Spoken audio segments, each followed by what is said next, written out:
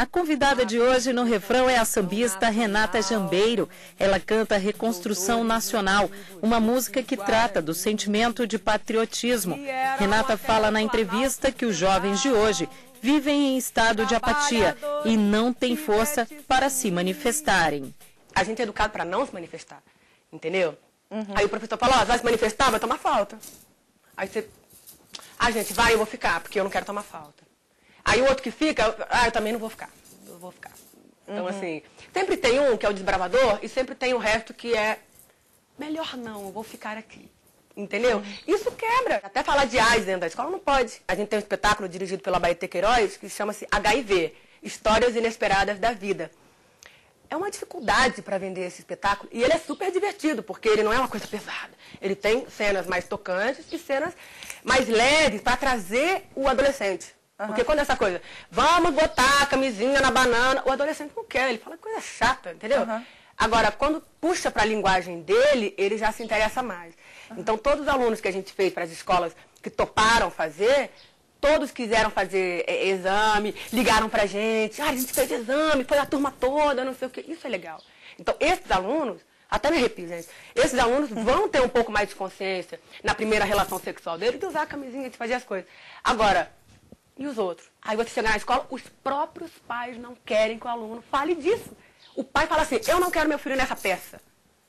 Aí a gente, então vamos fazer o seguinte, vamos gravar e mostrar para vocês, vocês assistem e depois vocês mostrem para os seus filhos. Não, minha filha vai falar de sexo. Então eles estão piorando, eles estão fingindo que isso não existe e depois a filha dele vai descobrir. Em alguma hora ela vai descobrir. Uhum. Né? Então, a gente existe essa dificuldade até do próprio pai e da própria mãe. Então, como uhum. chegar? Em casa, minha mãe não tinha muito esse negócio de ficar falando sobre sexo, ela tinha meio que vergonha e acabou que se tornou uma, um, um problema falar sobre isso em casa. E aí acabou que eu não falo sobre isso com a minha mãe e ela fica, ela teve um receio e agora ela quer começar a falar sobre isso, só que eu tenho um problema em falar sobre isso com ela. E acho que é importante que os pais tenham essa, essa relação com os filhos, porque se não tiver essa relação, acaba que vai ter uma barreira entre eles e eles não vão poder falar sobre esse assunto futuramente. Tem muitas doenças que são transmitidas através de sexo, né? Então quando a mãe fala e os pais aceitam, né? Eu acho que fica mais fácil. Eles fazem o sexo com mais segurança. Inclusive, de muito novo, você já pode explicando as coisas no nível que eles entendam e tal. Não tem por que ter tabu desses assuntos, eu acho. As questões culturais do Brasil, que fizeram a história do Brasil, aumentam o sentido de patriotismo, porque a música aqui ela fala que é, é, ela fala muito nessa questão do patriotismo, né? É claro que aqui na letra ela, ela liga a questão da fome, uhum. né? Não dá para ser patriota se você sente fome, mas é, dá para gente aumentar um pouco esse, esse sentimento de, olha, eu sou brasileiro e eu sei por que eu sou brasileiro, uhum. eu sei o que, que eu estou fazendo aqui nesse país e que lugar é esse que eu moro, e, dando essa, esses, esses ensinamentos na escola? Acho. Acho. Porque na escola, a escola fala assim, você não vai assistir a peça da AIDS, mas você vai matar a aula para ver o jogo do Brasil. Aí o aluno entende que, ah, então ser patriota é ver o jogo do Brasil? Então eu vou saber a escalação. O que é ser patriota para você? Entende? Para mim, olha que pergunta boa. O patriotismo, para mim, ele não está só vinculado a, a, ao ópio do brasileiro, da mulata, do carnaval, do, do, do samba enredo, do, do, do, do futebol. Entende? Eu acho que ser brasileiro é você ir atrás da sua história, ir atrás da sua raiz. O patriotismo pode ser definido como sentimento de amor e devoção à pátria e a seus símbolos, como a bandeira. É algo íntimo e se revela na forma como os filhos de um país se identificam como parte de uma mesma história e tradição. Um dos momentos em que mais se manifesta esse sentimento é na Semana da Pátria, com os desfiles de 7 de setembro, quando é levantada a questão da identidade nacional. Poxa, mas é o país que você constrói. Mas né? é você que faz essa mudança que você não gosta mudar. Entendeu? Você que faz a mudança a mudança mudar. Se a mudança fica ali só mais ou menos, muda, não muda, ela não muda. Fica só no discurso, Fica só né? no discurso. Fica só no blá blá então, blá. É isso que você sente de ruim que devia te motivar. Poxa, então só tem pobre, só tem favelado, só tem preto, né? Como as pessoas falam, só tem preto nesse país. Então vamos fazer o seguinte, vamos fazer um, uma coisa de inclusão, de miscigenar todo mundo, de colocar todo mundo dentro da escola, né? Vamos fazer um projeto social. Não estou falando de, de, demagogia, né? Estou falando de, de coisas pequenas que mudam grandes sociedades. Uhum. Né? É, se todo mundo ajuda uma instituição e essa instituição se vincula a uma escola, e essa escola se vincula a, a, a, a uma. Você está virando um padrão crescer.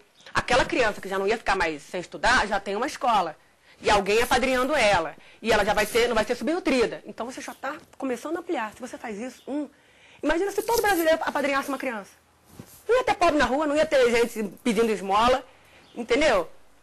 Então, eu acho que o patriotismo está vinculado a isso, a você querer mudar, a você querer a mudança e você ir atrás dela. Eu lanço uma campanha X contra a destruição das árvores da, da Amazônia, quer dizer, eu sozinho não tenho condições de, de atuar como grupo de pressão. Agora, se eu consigo convencer outras pessoas, eu levo essa causa, levo para deputados, levo para senadores, e consigo convencer outras pessoas da sociedade civil, aí eu crio um movimento que a gente chama de grupo de pressão, que seria a sociedade civil organizada. Aí você tem realmente condições de fazer uma diferença se for algo bem estruturado. O problema é que para isso você precisa de pessoas com tempo, com disposição e com conhecimento. Você só pode atuar numa área que você conheça. Eu não posso falar sobre a questão do solo lunar, porque eu não tenho a menor informação sobre isso. Nem quero ter, porque não é a minha área. Então, é, as pessoas elas acabam atuando de uma forma segmentada, o que não, não quer dizer que não seja positivo. Mas é assim que se dá no plano da, da, da, política e das políticas públicas. Então você escolhe uma área e atua nela, você não pode atuar em todas as áreas. Né? Agora, para isso é preciso que haja realmente conscientização. Renata Jambeiro, muito obrigada. Obrigada. Obrigada também a você que está em casa. A gente volta na semana que vem e agora você fica mais uma vez com Reconstrução Nacional. Refrão, um jeito diferente de escutar música.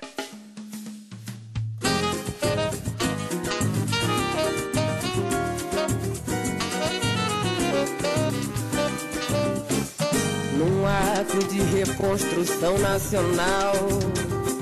Doutores, mendigos, tupis, guaranis vieram até o Planalto Central.